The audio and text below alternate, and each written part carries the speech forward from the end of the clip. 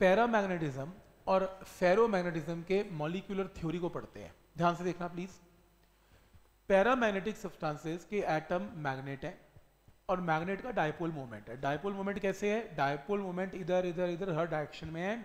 सारे एटम का dipole moment आपस में कैंसिल हो जाते हैं और नेट डायपोल मोमेंट पूरे मटेरियल का ज़ीरो इसलिए वो मैग्नेट नहीं है। लेकिन जब इन्हें मैग्नेटिक फ़ील्ड में रखा जाता है तो सारे एक तरफ़ क्या हो जाते हैं? अलाइन हो जाते हैं ऐसे। And they will start acting like a magnet. तो ये आपका पैरा है। अब अगर बात करते हैं फेरो की।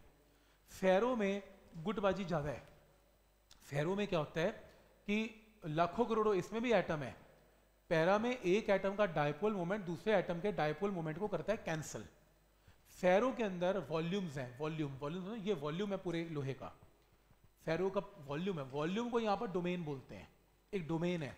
कॉलोनी है। कॉलोनी डोमेन उस डोमेन में लाखों करोड़ों एटम्स हैं। लेकिन उनका बिहेवियर एक जैसा है। सबका डायपोल मोमेंट अगर ऐसे है तो लाखों का ऐसे ही है।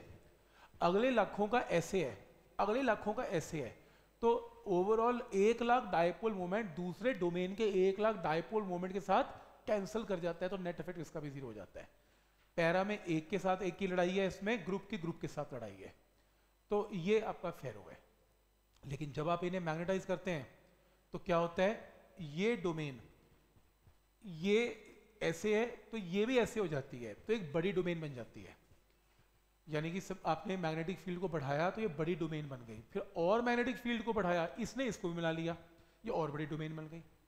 इसने इसको मिला लिया, और बड़ी डोमेन इसने इसको मिला लिया, और तो यानी कि सारे के सारी एक तरफ़ हो गए, हम बोलते हैं सब्सटेंस मैग्नेटाइज हो गया। तो ये प्रोसेस जिसके अंदर एक डोमेन दूसरी डोमेन को अपने अंदर मिला लेती है और दूसरी तीसरी को, तीसरी चौथी को तो हम उस प्रोसेस को क्या बोलते हैं? एक्सचेंज कपलिंग एक्सचेंज कपलिंग इस प्रोसेस को एक्सचेंज कपलिंग बोला जाता है।